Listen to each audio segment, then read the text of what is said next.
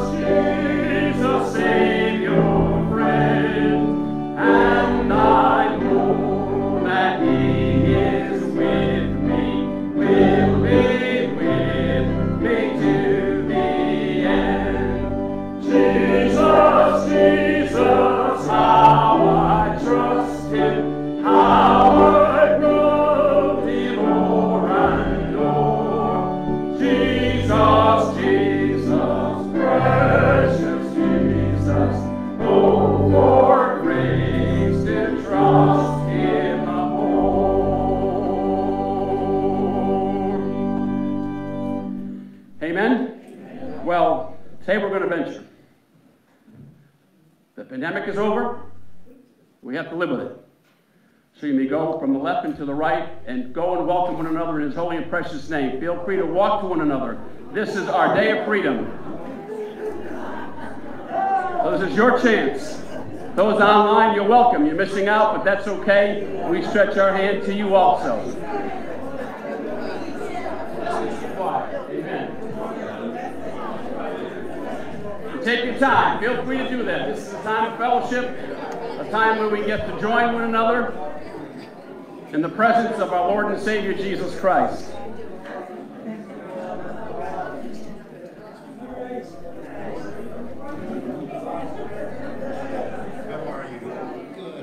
Doesn't it feel good to be able to stretch? Be able to praise the Lord with one another? The freedom of the Holy Spirit to flow.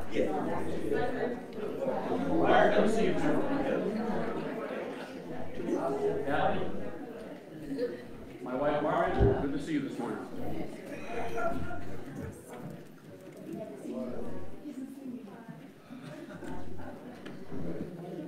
Don't let Satan steal your joy. The Lord gave you peace and joy that surpasses all understanding. Take that with you no matter where you go. And keep the smile on your face for the Lord. Because they'll know we're Christians by our love, by our smiles. They'll see Jesus. Hopefully, within our heart, they'll see Jesus. Good to see you this morning, Raymond. Tonight, Sunday evening service, 6 p.m. Phil will be bringing Phil will be bringing forth the message tonight. I just want to make sure you heard me again. I get the wave. Time of uh, praise and uh, sharing, hymn songs, hymn songs, and so forth.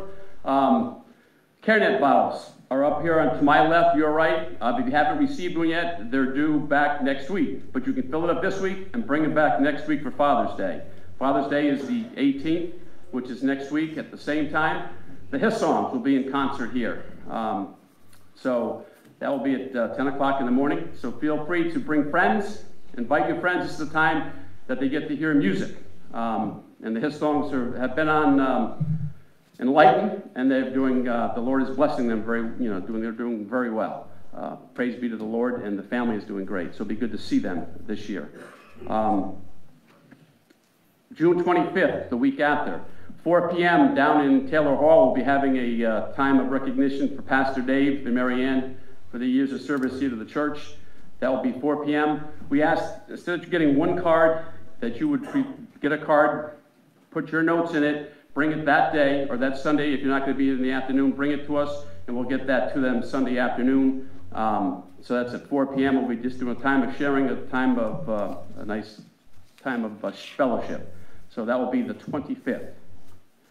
July 2nd is our celebration day here at the church. We're going to be doing a little luncheon afterwards, uh, sandwiches, and hospitality is taking care of the other. Um, but that's the day that we just get to share the love that the Lord has given to us. We may call upon you to give a testimony or other. Um, if you can sing, if you'd like to sing a song for the Lord, that would be a day to do that also. Uh, Pastor Robbins is coming up tonight for a couple days, him and his children, preparing for um, next year's school season and getting things situated. Am I correct on that, Evie? So be praying for traveling mercies for Pastor Robbins. They'll be here on the 2nd. Officially, that'll be his start day. Um, looking forward to the leading and to uh, having a, a, new pastor. Um, but praise God, all things work out to the good for the kingdom and the glory. On July 5th is Vacation Bible School for all our kids. Adults wishing to help or bringing in items for that, you may do so, getting that to uh, here to the church. But on the 5th, it's, I got it right, 9 o'clock? Pam, right? 9 to 11. 11.30, 9 to 11.30, Thursday, Friday, Wednesday, Thursday, Friday. Got it. After the, after the 4th, the 5th. I'm just, Wednesday, Thursday, Friday, and Saturday will be the closing, closing ceremony on the Saturday with a, um, a cookout um, to close off the, um, the family day. And all are welcome for that uh, Saturday. If you can't make vacation Bible because we as adults, but come in on that on the 8th at, um, at 11 o'clock. Was it 11 o'clock for that? 11.30. Okay. So those are things that are going on. And as we continue to go forward, may we just continually seek his face and your wisdom, his wisdom. Our prayer and praise list, just want to bring that to your attention. That is here, and it's in your bulletins. Please take that with you today and pray over that during the week for the different things. Raymond. I, I do have that note, Raymond. Um, we love because he first loved us. That was the thing that Raymond just gave me, which is true. We love because he first loved us, and that was our Lord and Savior Jesus Christ. As we continue on, choir, Kathy.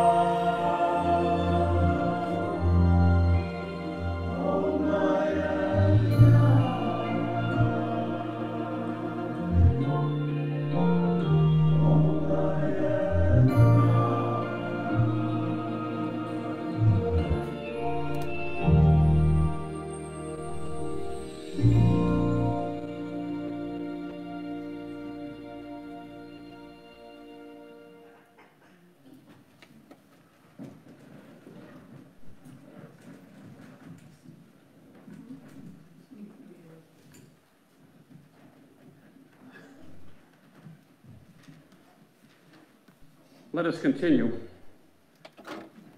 in our hymnals, turning to page two, 514, In My Heart There Rings a Melody. 515, I'm sorry, Since Jesus Came into My Heart. All right. I'm good on that. Thank you, ladies. Let us please stand and sing this together, and those here for Children's Church will be going back. Some have already, some already be back there for us, but may we please stand and sing, Since Jesus Came into My Heart.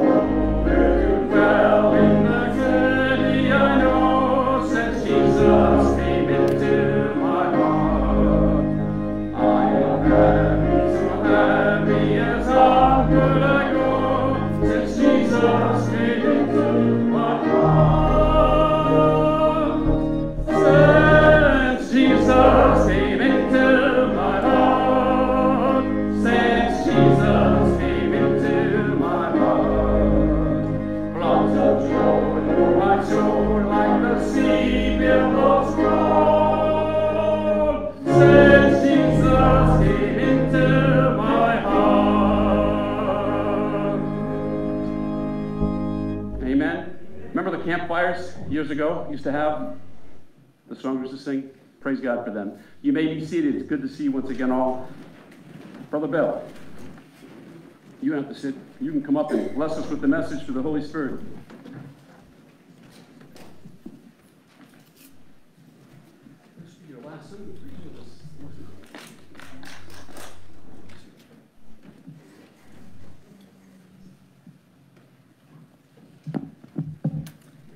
Good morning.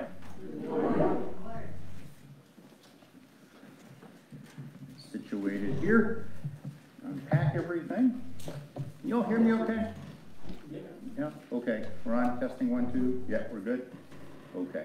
Uh, you, Patrick and Tony, for work you do in the sound and the music. I'm always blessed. Maybe small in number, but very powerful in praise. I, I just really love a lot of those old praise songs, and uh, I had a nice talk with uh, Margaret this morning. Said, um, you know, back in the 80s when those were first coming out, they were so powerful. You know, they're all about worship and praising of God. And um, really, really enjoyed those. Okay, um, we have a lot of prayer requests today, so we're going to pray for our people that are on the sheet here. And um, let's do that right now. Heavenly Father, we thank you for the opportunity to gather in your name, in your house. Father, we're very mindful that there are other gatherings all around this world today that do not have the luxury of a building, even chairs. Some are just sitting in a uh, a patch of dirt on the ground listening to the word proclaimed. So, Father, we are grateful for what you have blessed us with today. And, Father, we bring before you all of our uh, prayer requests. Your word says to come before you with um, praises and to singing and to also let our requests be made known to you. And so, all of these requests, Father, I lift before your throne of grace asking that you would move and direct and um, have your way in each of these um, situations that people are going through right now. So, Father, we ask that your uh, provision of your Holy Spirit would be very rich and thick during this time. Lord, I ask that your spirit of peace would descend upon this place. It would be a spirit of calm, that we put all of our anxieties and all of our worries at the foot of the cross. Help us to concentrate on what you are saying today. And Father, I just ask that you would keep me hidden behind the cross of Jesus today, that he be lifted high. And Father, if you don't put the, the anointing, the weight of heaven behind these words, Father, they just fall to the ground. And the birds eat the seed, and, and nothing is accomplished. So, Father, I'm asking May your will be done today. Come, Holy Spirit. In Jesus' name we pray. Amen. Our background or our, our base scripture this morning is Psalm 145. And if you would like, you, you may turn there. Um, Psalm 145, verses 8 to 9. The Lord is gracious and full of compassion, slow to anger and great in mercy. The Lord is good to all in his tender mercies. Wait a minute, let's read that again. The Lord is good to who? All. And his tender mercies are over all his works. Amen. Now, if you would turn with me to the book of Luke, this is where our main study will be this morning. Luke chapter 18. starting with verse 35. Then it happened, as he was coming near Jericho, that a certain blind man sat by the road begging. And hearing a multitude passing by, he asked what it meant. So they told him that Jesus of Nazareth was passing by. And he cried out, saying, Jesus, son of David, have mercy on me. Then those who went before warned him that he should be quiet. But he cried out all the more, Son of David, have mercy on me. So Jesus stood still and commanded him to be brought to him. And when he had come near, he asked him, saying, What do you want me to do for you? He said, Lord, that I may receive my sight. Then Jesus said to him, Receive your sight, your faith has made you well. And immediately he received his sight and followed him, glorifying God. And all the people, when they saw it, gave praise to God. Isn't that wonderful? Mm. They say that everyone loves a parade. And I've been to a few parades through the years, and I've always enjoyed uh, getting there early to get a good spot. And um, the marching bands are my favorite. And then the antique cars, and they have the Shriners and the little go karts doing figure eights. And I'm amazed that they don't run into each other, but I guess they practice. But um, member of my family went to the Columbus Day parade in Westerly one year. And um, the individual got there plenty early, got a prime seat right on the grass, on the hill there, um, by the train station. They didn't want to miss anything. And, um, well, instead of uh, not missing anything, they missed everything. Um, see, in Westerly, the Columbus Day Parade is the day before the actual holiday. And so after an hour of sitting, seeing the traffic not stopped, no parade going on, um, realizing there was no parade that day. in fact, they were told, uh, there's no parade, buddy. Oh. So the individual quietly packed up and went home. Seems that they were a day late and a parade short. I won't tell on you, Dad. So. it's been a running joke in our family for a while now. In our opening passage this morning, we have a similar situation. And in verse 35, we see the phrase, There is a crowd of people gathering around Jesus as he is walking through town. Then it happened. It's interesting, Scripture uses this phrase as if something big was about to happen. And indeed, it was. Um, and it was about to. And in this particular situation, then it happened serves as a dividing line between the dull and mundane to of ordinary life to something interesting and out of the ordinary. And we're introduced to a man. He is blind, he is begging, and he is desperate. He is at the mercy of anyone who will take pity on him. Begging for daily sustenance, wondering, will I have enough food for today? Will I be taken advantage of because of my handicap of being blind? He is in a daily, desperate situation of what life has handed to him. And I think about the blind patient I had a while back, which I told you about in a previous message. And at the mercy of caregivers who could have shown more mercy, in my opinion. Now, this man, he may be blind, but he can hear. And he hears something, he hears a crowd passing by him. And he asks probably one of the most important questions in the New Testament what does this mean? The answer Jesus is passing by. In order to understand the significance of this statement, we need to understand who Jesus is and why there was so much commotion around him. Who is this Jesus? Growing up, to me, Jesus was someone who died for my sins. And if I accepted him as my Savior, I would go to heaven someday when I die. Follow the rules of the church or the denomination, and you're fine. Now, this may be news to some here today, but the Christian life is not following a list of rules and regulations in order to gain favor with God. Nobody gains favor with God in their own efforts, it's by God's mercy. Can I get an amen? amen? Yes, there are guidelines to follow, but you don't gain or curry special favor with God just by following them. Are you following me, church? Yes. Titus 3:5 tells us, not by works of righteousness which we have done, but according to his what? Mercy, Mercy he has saved us.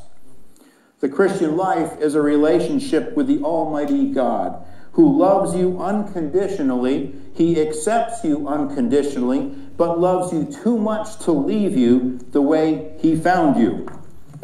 Isn't that true?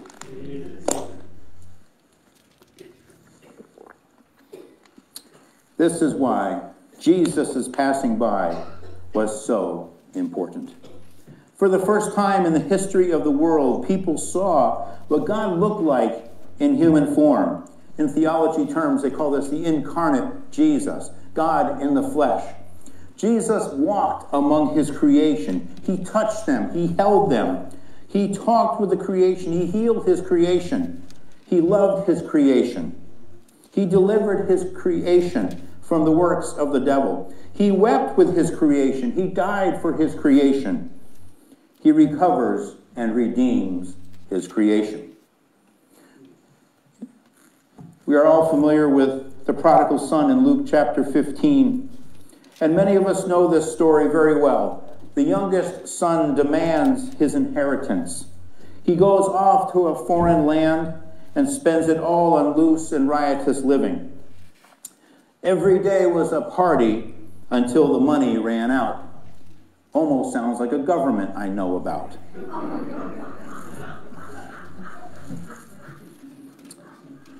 But when he comes to a place of desperation, rock bottom, he comes to his senses and says, Why not return home and live as a servant of my father?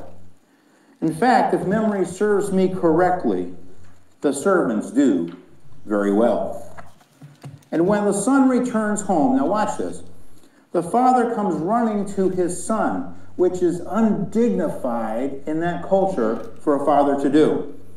The father embraces his son, kisses his son, and puts a robe around him to cover the stench of his son.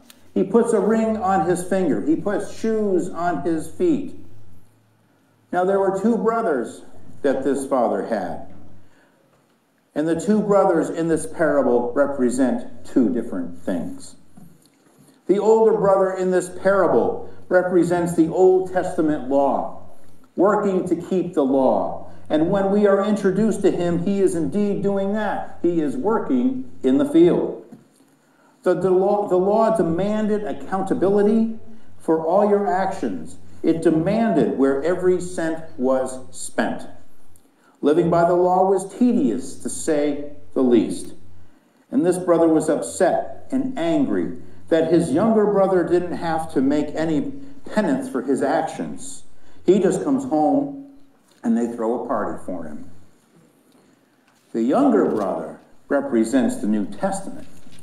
You come as you are, broken, smelly, disgusting, no explanation needed, just a cry of mercy for forgiveness of sins. And when we come to Christ, the scripture tells us there is a big party in heaven rejoicing over your saved soul. That's in Luke 15 10. The robe is placed on this prodigal son. The robe represents the righteousness of God that he wraps around you. My sin has been covered by the blood of Jesus on the cross of Calvary. Jesus is my robe of righteousness, the covering for my sin. I am clean, forgiven. I no longer stink from the effects of sin. I have a new life, a fresh start in life. Amen. Anybody? The ring. The ring signifies the authority that God gives you. The ring was significant in the family. It showed by whose authority you spoke or conducted business. God has given each of his children authority over the works of the devil. You no longer belong to the devil. You no longer work for the devil. You have authority over the devil by the blood of Christ. Some may be here struggling with the injustices of life or even the story of the prodigal son. You may be thinking, you know, I've suffered, I've sacrificed, I've worked hard in God's church, and nobody ever recognized me or threw a party for me. Hebrews 6:10 tells us God has not forgotten your work. He has not. And the labors of love that you have shown. See, it's God we're working for. He rewards us. I think I'd rather be remembered by God than be remembered by man.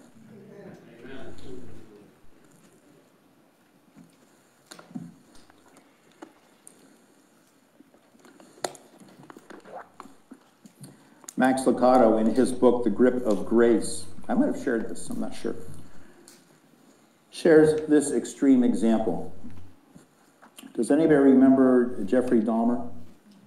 He was the cannibal out in Chicago. That this was the late uh, 70s through 91, 78 to 91, actually. As re, um, Max describes the depths of the depravity of Jeffrey Dahmer's psychopathic actions of cannibalism. And as repugnant as Max found Dahmer's sins, there's one thing that has troubled Max. Dahmer's ability to seek and receive forgiveness for the sins that he committed. His sins were washed, soul cleansed, and past forgiven. God even loved Jeffrey Dahmer. How many are having a hard time with that right now? I know I, I kind of am. What's this? And as much as we may abhor the story, it's the truth right in front of us, isn't it? God can, forgive that kind of a heinous crime? That tells me the richness and the depths of God's mercy and grace. I can't get there yet. I don't know how I would handle that kind of a situation. But some things, these things can only be dealt with by the power of the Holy Spirit. You may be asking yourself, you know, Brother Bill, how do we handle these situations or these people? It has been my experience in Christian circles that most are concerned more about seeking vengeance and justice rather than extending mercy and grace to the downtrodden in life. That's a bold, hard statement. I've seen it, and it's not pretty. Somebody breaks the law, we're like, well, we hope that uh, justice gets them. What about the mercy of God getting them? That's not the first thing on my mind sometimes. I'll be honest with you. I'm no different than anybody else here. I struggle with things. My attitude is not always the best. But I have to go to the Word of God, and I have to line up my thoughts the way God sees things. The first thing we are instructed to do is pray for those that we have a difficult time with, according to Matthew 5. Pray to see them the way God sees them, through eyes of love. Love them the way Jesus does. And what does that mean? That your thoughts about them would be uh, about them finding salvation and experiencing the same love you yourselves have experienced. Not towards demise, judgment, and revenge it's very hard to love people you don't like. But that is what God has called us to. And don't you think God knows that? This is why He gave every believer in Christ the gift of the Holy Spirit to love others the way He loves us. And if you're having a hard time with that, may I suggest reading the book of First John? Meditate on that. Think about that. Ask the Holy Spirit to continue to just mull that over in your mind and in your heart. I need to pray right now for this. Lord, I I know there are people struggling in this room about this. I know I am. There are times when my thoughts are not always about mercy and grace towards people that have offended me or have made some kind of injustice in the world. And I know there's people here that think of the same thing. So, Father, we're asking that your Holy Spirit, we're just taking a breather right now, Father, asking that your Holy Spirit would come right now and minister a salve that heals those wounds. Come now, Holy Spirit, you are welcome. In Jesus' name. See, God knows and He has a plan for the wicked of this world. In 2 Peter 2 4 to 9, it tells us that He has a place reserved for the ungodly that do such evil. You may be here this morning and you're seething over a situation, grinding your teeth down to the gums and you're saying, I'm angry now. I want vengeance now for someone for what they've done to me. In fact, I'm planning on taking matters into my own hands. I'm so angry. Please don't. Please. If I can beg you of one thing, let God handle it. And this is coming right from straight from the heart of God today. Please. I want to save you a bunch of heartache. God has a better way, and He has a way of taking care of those who mistreat you, and at the same time giving you a future and a hope. I speak from experience. Please, if that is you today, please let God handle it. Let Him handle it because Jesus is passing by and he wants to give you his eyesight to see others the way that he sees them. God's word to you is this in Ezekiel 36 26. I will give you a new heart and put a new spirit within you. I will take the heart of stone out of your flesh and I'll give you a heart of flesh. In other words, that's a heart that feels things. I will make you sensitive to the things of God. You will feel what God feels. I will put my Holy Spirit within you and cause you to walk in my statutes, not your own. And you will keep my judgments and do them. See, this is what God is willing to do for you if you are willing to let Him. Just you must surrender it first to God, piece by piece if you have to. See, the ground is level at the foot of the cross, in case no one has told you. God's love, His mercy, and compassion are all metered out the same in full abundance. You may not like that. But that's how it is. It's the way God has set it up. We're all in need of the mercy and grace of God. The law doesn't save us, only the mercy, grace, and the blood of Jesus. Amen. Well, it seems to me like we've left somebody in the streets. Our blind man friend. Let's talk about him. The last we left him, he hears Jesus of Nazareth is passing by and he calls out, Have mercy on me. He understood his need for an encounter with Jesus. He is the youngest son in the parable in need of the mercy of God. And the crowd responds, Sit down, be quiet. We don't want to hear from you. We have our own agenda, and it does not include you. You don't think the way we do. You don't fit into our plan. To some extent, this could be considered the older son. Isaiah 30:10 is an oracle written to an obstinate nation, perhaps even the obstinate church, where it says, Give us no more visions of what is right. We don't want to follow what is right. Tell us pleasant things. Prophesy illusions Tell us we're doing great in our own without God, and that God approves of our lifestyle, even if it is a lie. Just appease our conscience. Leave this way, get off this path, stop confronting us with the Holy One of Israel. In other words, get out of our way. We are forging ahead with our own spiritual political agenda that does not include you or your God. Stop being the roadblock that keeps us from our plans. Some could argue this is a fight within the Christian church as well. We want our liberal theology and our image of who we believe Jesus to be.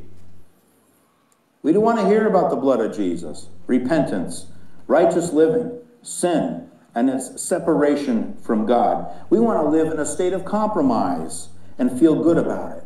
And that, my friend, is why the church has lost its power in today's day and age. A little louder.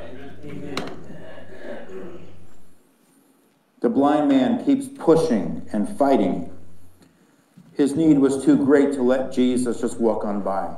He was desperate. He kept shouting all the more, Mercy, mercy, mercy. Have mercy on me, son of David. And sometimes you just got to fight like you're the third monkey on the ramp of Noah's Ark. And brother, it's starting to rain. Mercy, God. Mercy. Please extend your mercy and your grace to me. I'm desperate for a move of you, Lord. I'm like the older son, angry, bitter, and blind in my situation. Son of God, have mercy on me. Mercy on my life. There's no joy, there's no love, there's no peace. Have mercy on me. Like the physically blind man, I too am blind. I'm spiritually blind. Have mercy on me, Son of God. What about you and me? How desperate are we today? For my recovery friends here, one of the first questions in recovery is this What are you willing to do to stop your addiction? If the answer is anything but anything, you're not ready. See, Jesus is passing by the church today. Matter of fact, he's coming in to this building. He's with us here today. He's passing by your pew.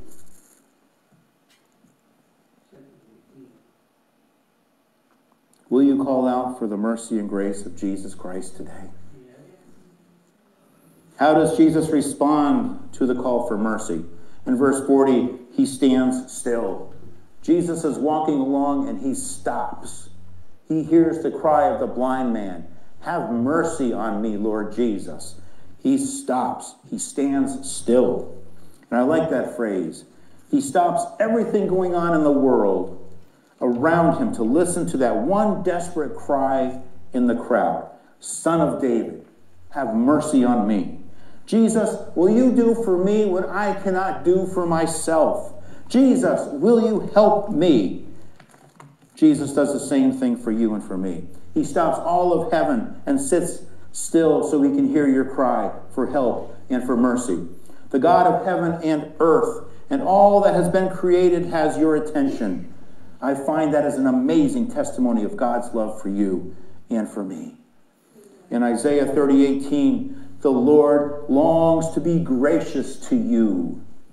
He rises to show you compassion. For the Lord is a God of justice. Blessed are all who wait for him.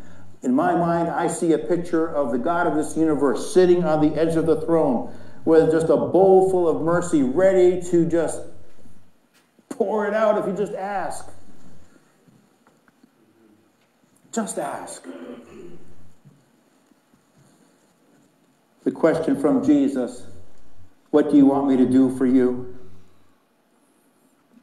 What do you want me to do for you? What a wonderful picture of the servanthood of Jesus. Jesus wants to do something for me. What do you want me to do for you? Notice that Jesus didn't say, Do this for me first, then we'll talk. No. This is a wonderful picture of an example of Jesus showing us that we should be the mindset of serving others, especially those who cannot do for themselves. And the man's reply is, I want to see, I want to receive my sight. And Jesus says, Then receive your sight. Your faith has made you well. And the man immediately received his sight. The man was persistent in his plea to Jesus. He knew Jesus would and could heal him. Don't let the devil tell you your situation is helpless and hopeless. Don't give into the thought that my son or daughter is beyond the reach of God's hand of mercy and grace. And I have a scripture for you to write it down if that is you in your situation. It's 2 Samuel 14 14. Look it up and meditate on it this afternoon. Don't let others tell you you will always be this way. Your situation will never change. Don't buy it, even on triple coupon day. Don't buy it. And don't let the devil tell you you will never amount to anything. Because Jesus is passing by today. His ear is listening to the cry of your heart today. Mercy, Lord Jesus. Mercy, mercy, mercy. Have mercy on my life, Lord Jesus. I have an addiction. My anger keeps getting in the way. I'm bitter and I demand justice. There is no peace or joy or love in my life. My Jesus, will you have mercy on me? I can't see. I can't see the life you desire for me because of all the junk in my life. Will you have mercy on me, Lord Jesus? And the resounding answer from heaven is yes, I will. I will have mercy and grace on your life today because I love you. That scripture was 2 Samuel 14 14. Jesus will have mercy on you. He will love like, like you've never experienced that before. He will embrace you. He will accept you. Like the prodigal son, just confess and accept the wonderful gift of God's love for you. Don't listen to the older brother that says, you have to give an account first. You have to get your act cleaned up, smell good, look good. Put on the old spice if you have to. Does any guy use that anymore?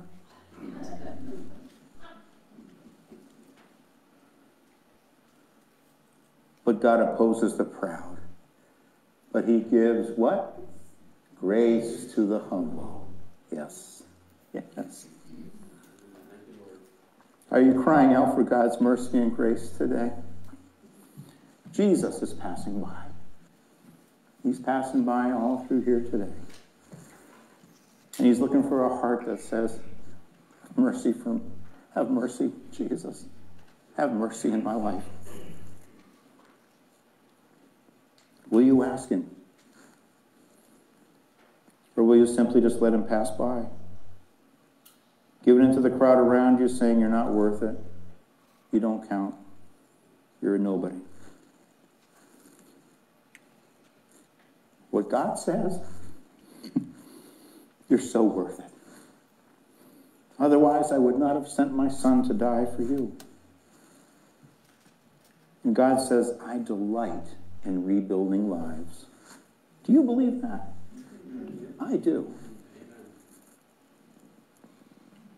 As always, I try to incorporate this passage in every message. Some of you know what I'm going to say. 2 Corinthians 5:17.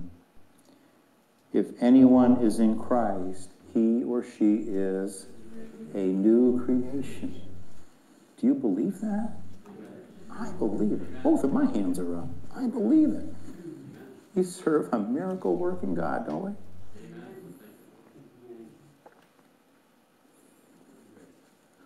God says, You don't know what you'll look like when I'm done with you, which will be an eternity, by the way, but I guarantee you'll like the results if you just let me be merciful to you. Jesus is passing by. And what's your cry to him today? Leave me alone? Or have mercy on me. Let's pray. Father, your presence is here.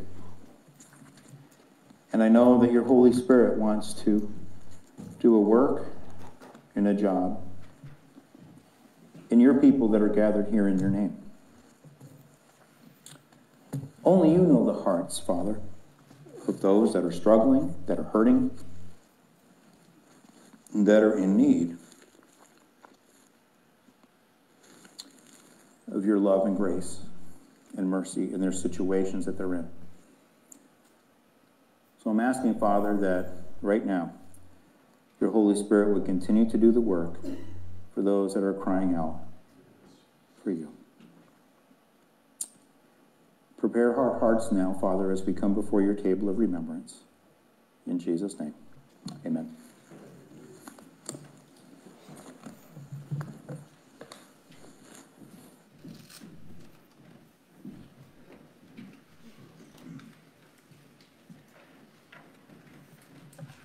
Let us continue closing this part of our service out singing 376, I have decided to follow Jesus. And if that commitment you have not made and you wish to do that today, this altar is open, Bill is up here.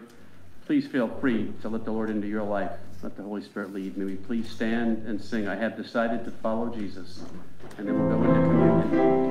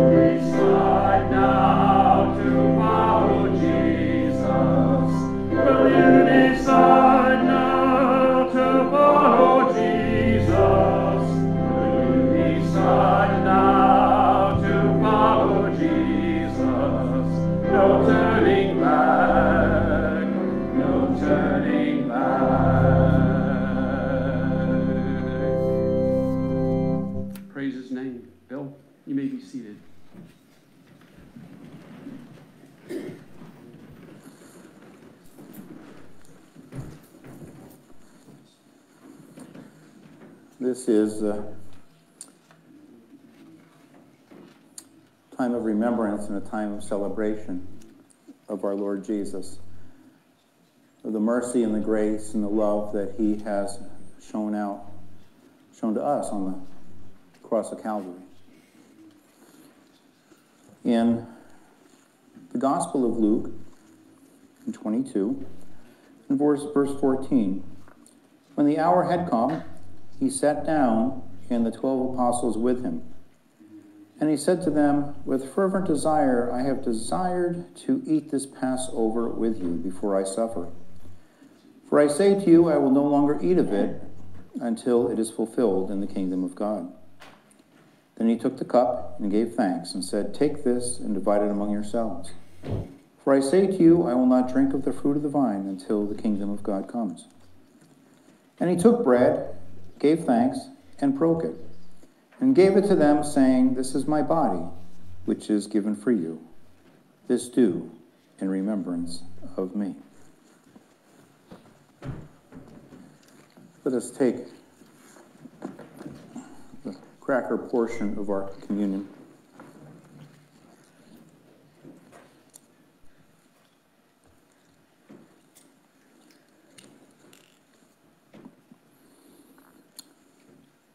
Father, we lift up the body of Christ that was bruised and beaten on our behalf for the payment of sins. Father, let us never forget of the kindness and the love that you have shown to us on Calvary. Let us partake with thanksgiving in our hearts.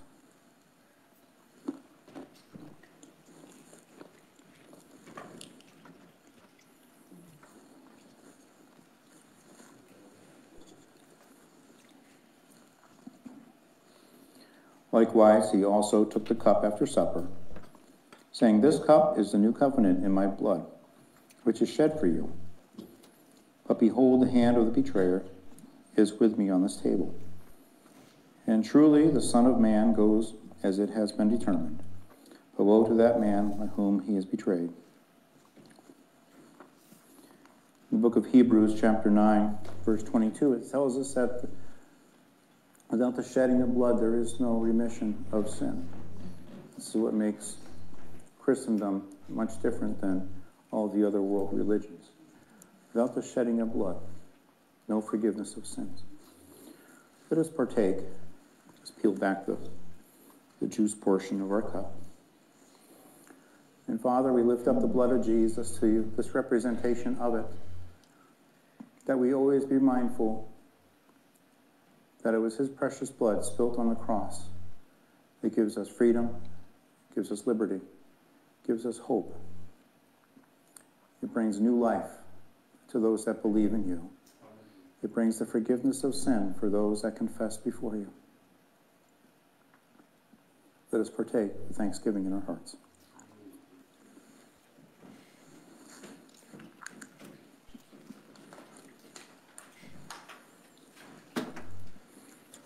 Scripture tells us that when they left the upper room, they sang a hymn. And we're going to do that in following with that tradition. Brother Cam? Let us please stand and sing together 282, The Family of God. I think we all know it by memory, but in case you don't, it's 282.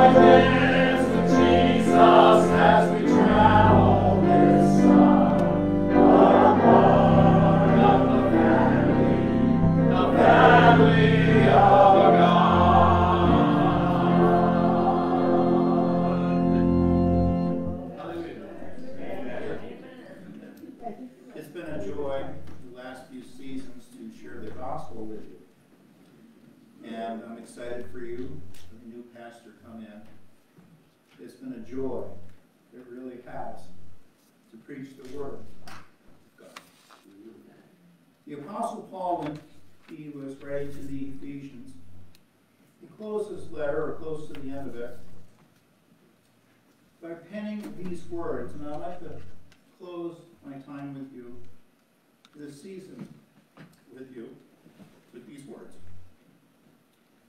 For this reason, I bow my knees to the Father of our Lord Jesus Christ, from whom the whole family of heaven and earth is named, that he would grant you, according to the riches of his glory, to be strengthened with might through his Spirit in the inner man, that Christ may dwell in your hearts through faith, and that you, being rooted and grounded in love, may be able to comprehend with all the saints what is the width and length and depth and height, to know the love of Christ which passes knowledge, that you may be filled with all the fullness of God. Now to him who is able to exceedingly abundantly above all that we ask or think, according to the power that works in us, to him be glory in the church of Christ Jesus to all generations, forever and ever. That's a sermon. So let's start with um,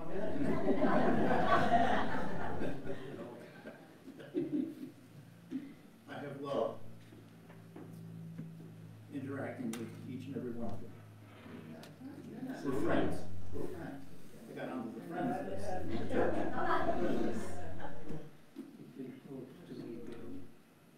Let's pray.